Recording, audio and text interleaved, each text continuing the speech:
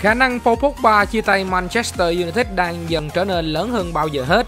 Kể từ sau trận hòa Southampton một đều hồi tháng 8, Paul Pogba gần như vắng mặt hầu hết các trận đấu quan trọng của Manchester United.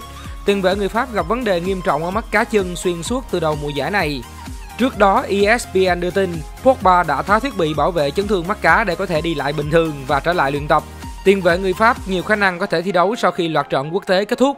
Tuy nhiên, động thái mới nhất từ chính Pogba lại cho thấy điều ngược lại.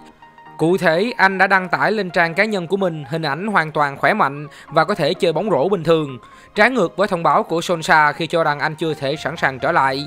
Khi mà thị trường chuyển nhượng mùa đông sắp mở cửa, hành động của Pogba càng rộ lên tin đồn rằng anh đang tìm cách ra đi. Nguồn tin từ Metro khẳng định Juventus và Real Madrid đang là bến đỗ tiềm năng của Pogba. Không ngạc nhiên nếu bơm tấn Pogba được kích nổ ngay trong tháng Giêng tới đây. Trong những ngày qua, truyền thông Tây Ban Nha liên tục đồn đoán về việc Real Madrid đang đứng trước cơ hội chiêu mộ một trung vệ cực kỳ chất lượng mang tên Milan Skriniar. Sở dĩ có khá nhiều mặt báo uy tín cho rằng Los Blancos giành Paul trong thương vụ này là vì đích thân người đại diện của Skriniar đã lên tiếng công khai việc này trong một phát biểu gần đây. Trong phát biểu của người đại diện này cũng đề cập đến mức phí chuyển nhượng của Skriniar.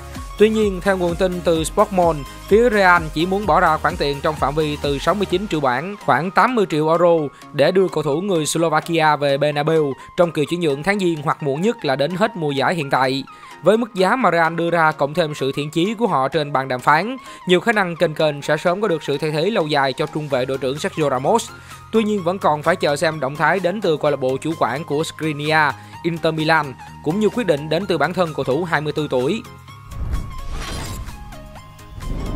Scott McTominay dính chấn thương mắt cá ở trận mù thắng Brighton với tỷ số 3-1 vào ngày 10 tháng 11.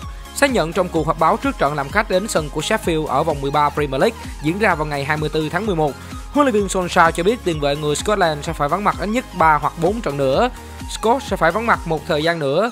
Cô ấy chưa thể tập luyện cùng toàn đội bởi vẫn trong quá trình hồi phục. Hy vọng rằng chúng tôi có thể đón cô ấy trở lại ở trận gặp Tottenham hoặc Man City. Theo những gì Solskjaer thông báo thì Scott McTominay sẽ không đá 3 trận tới gặp Sheffield United, FC Astana và Aston Villa. Tuyển thủ người Scotland có thể trở lại ở trận đấu với Tottenham ngày 5 tháng 12 hoặc Man City 8 tháng 12.